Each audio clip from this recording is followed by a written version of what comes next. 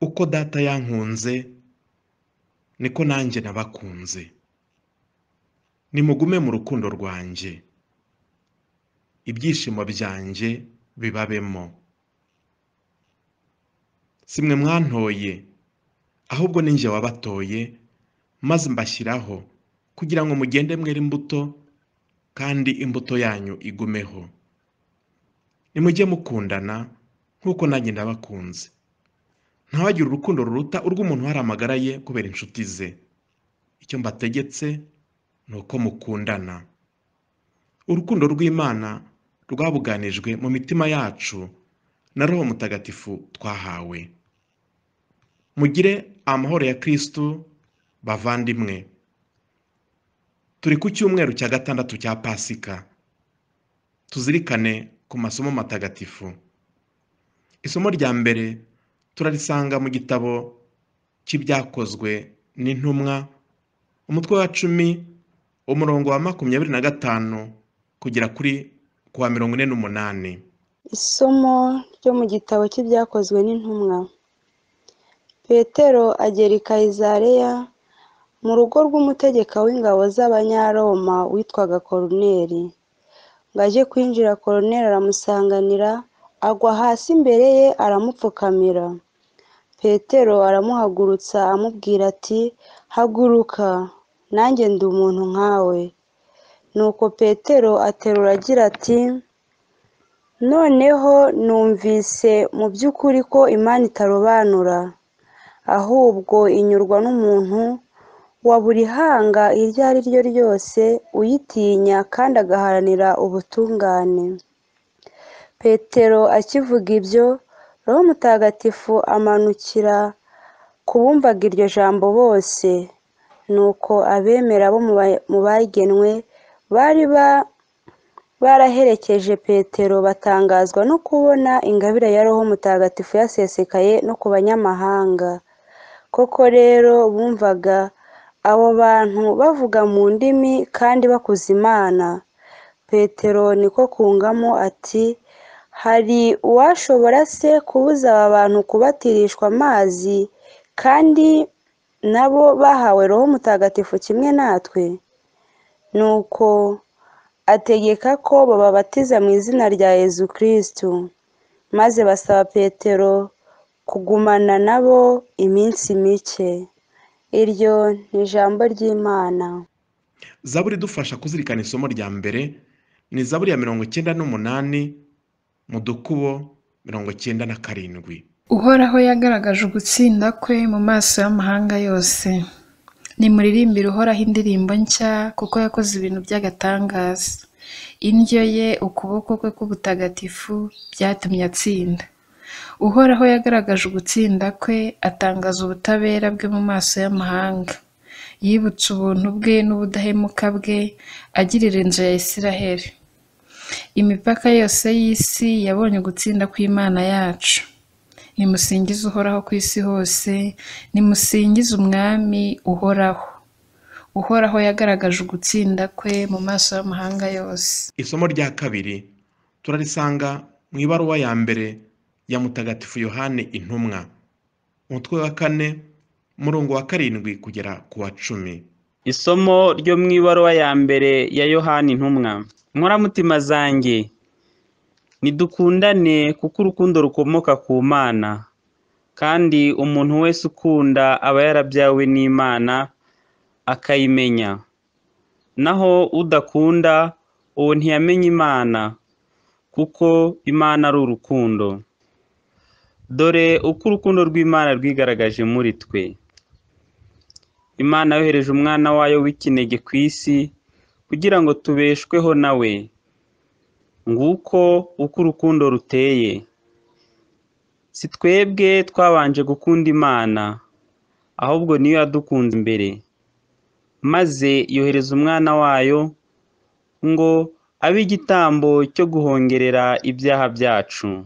Iryo ni ijambo ry'Imana. ivanjiri ntagatifu turazirikana ivanjiri nk'uko yanditswe na mutagatifu yohani intumwa umutwe wa cumi na gatanu umurongo wa cyenda kugera ku wa cumi na karindwi.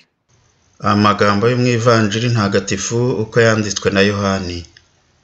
Muri icyo gihe yezu agiye kuva kuri iyi si ngo asange se yabwiye abigishwa be ati uko data yankunze niko nanjye nabakunze. Nimugume mu rukundo rwanjye.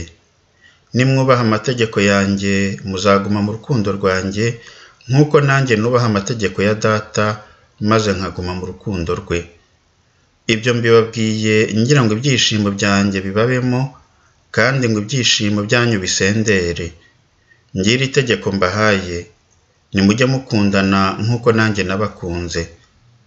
Ntawagira urukundo ruruta urw'umuntu hari amagara ye kubera inshuti ze. Muba muri inshuti zanjye igihe mukora icyo mbategetse. Jye sinkibita abagaragu kuko umugaragu atamenya icyo shebuja akora. Ahubwo mbise inshuti kuko nabamenyesheje ibyo numvanye data byose. Si mwe mwantoye ahubwo ninjye wabatoye maze mbashyiraho kugira ngo mugende mwere imbuto kandi imbuto yanyu igumeho.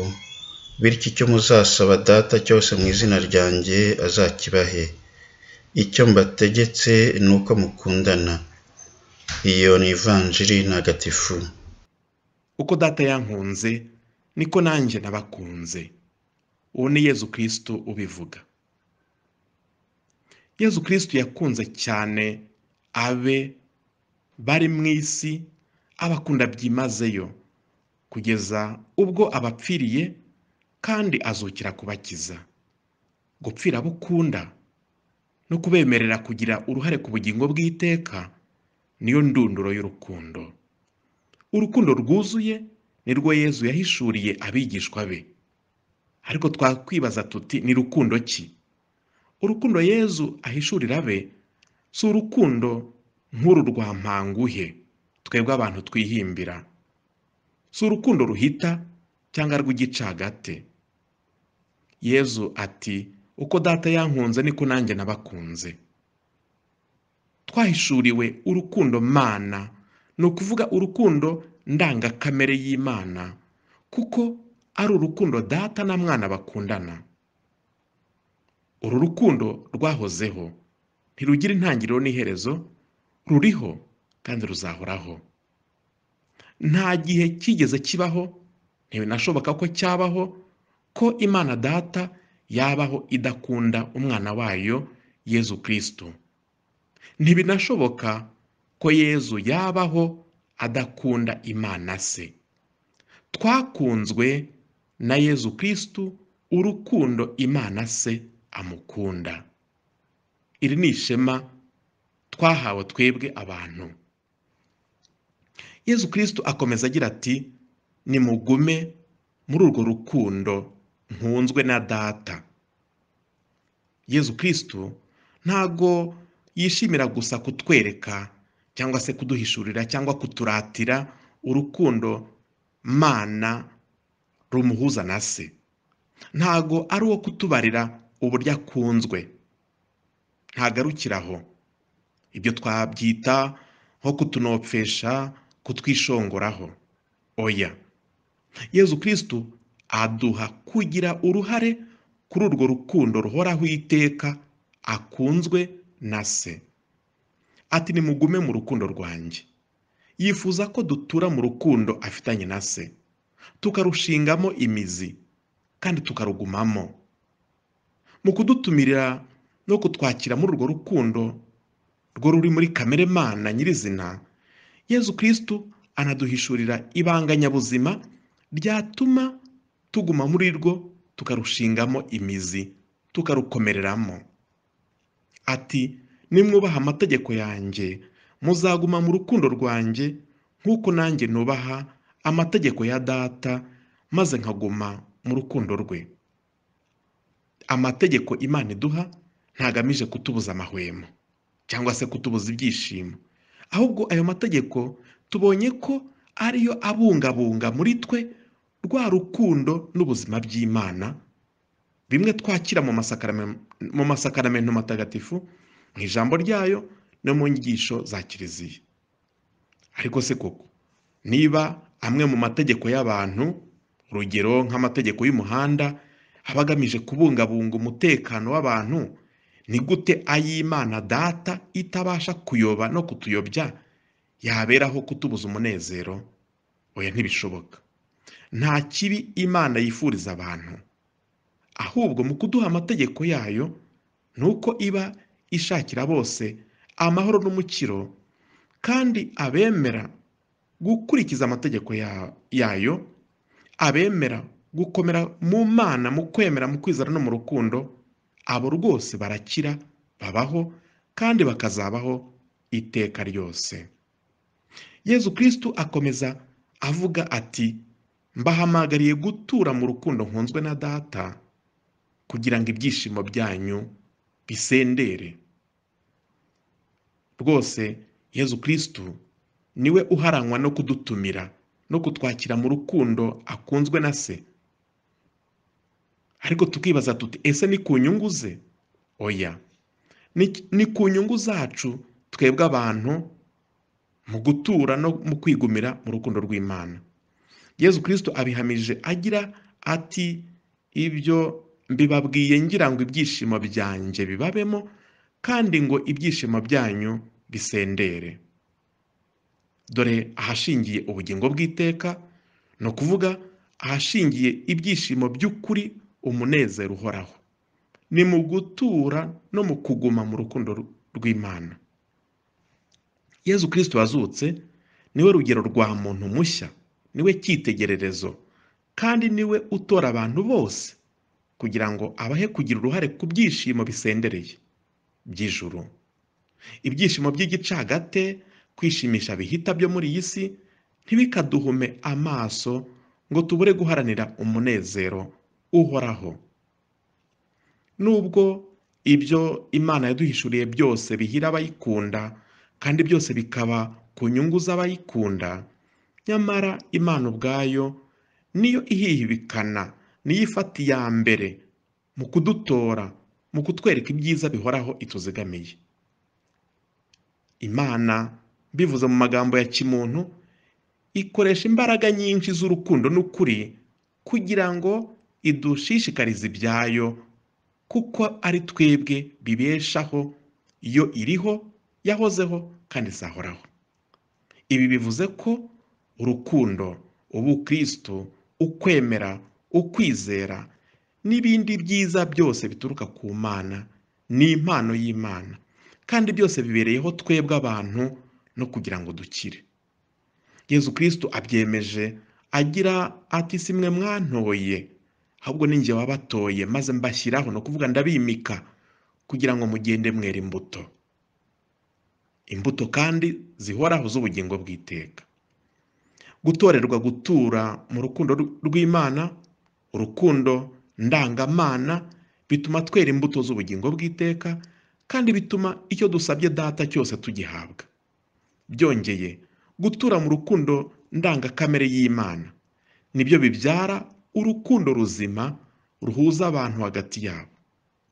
Wakwihandagaza ngo arakunda abantu imana yiremeye atavomye mu rukundo ruzima rw'imana yaba abeshya. Ntiyabakunda mu kuri yakwikunda. Yezu kirisito ati nimujye mukundana nk'uko nanjye nabakunze. Ntawagira urukundo ruruta urw'umuntu uhari amagara ye kubera inshuti ze. Ati icyo mbategetse ni uko mukundana. Mu ibaruwa ye yohani akomeje guhamya ko urukundo rushyitse ari urukomoka ku mana.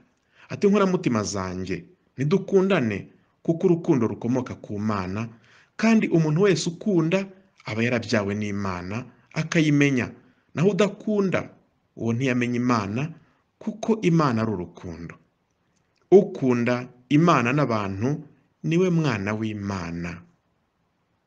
Urukundo rw'imana twahawe kandi tukarutuzwamo rurafatika. Ni umuperisona rufite ubumana n'ubumuntu. Umuperisona urwo rukundo ni roho mutagatifu. Urukundo rw'imana ni imana ubwayo. Ni umuperisona roho mutagatifu. Pawulo mutagatifu aduhishurira neza ko roho mutagatifu ari we rukundo ruhuza data na mwana kandi ko uwo roho ari we ushyira mu mitima yacu urukundo. Ati urukundo rw'imana rwabuganijwe mu mitima yacu na roho mutagatifu twahawe. Tubisoma mu ibaruwa yandikiye abanyaroma umutwe wa gatanu umurongo wa gatanu. Muri make imana data mwana na roho mutagatifu ni imana imwe yegereye abantu kugira ngo bakire. Bityo abana bityo abantu n'imana twese twunga ubumwe tubikesha roho mutagatifu. Muntu yatujwe mu bumwe bw'ubutatu butagatifu.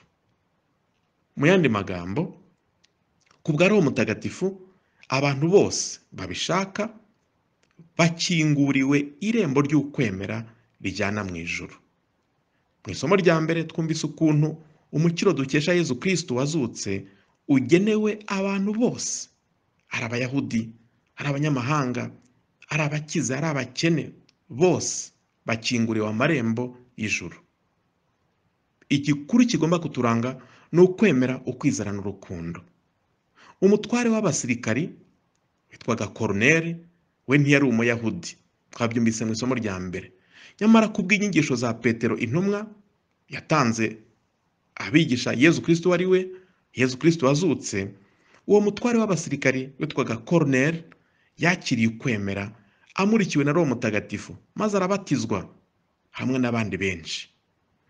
Kubana n'imana kuba abana bayo si umwihariko wa bamwe ni umukiro ugenewe bose.